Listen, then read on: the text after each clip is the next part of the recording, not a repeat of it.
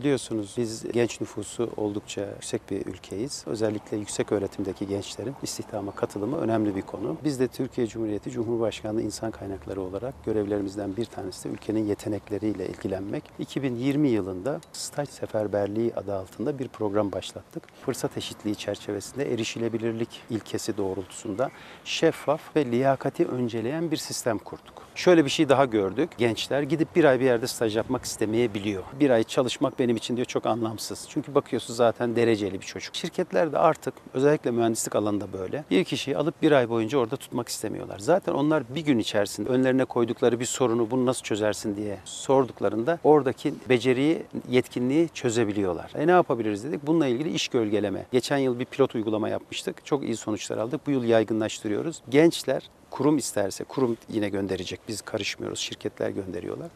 İstedikleri niteliklere benim şirketimde gel 3 gün ile 10 gün arasında iş gölgeleme yapabilirsin diyorlar.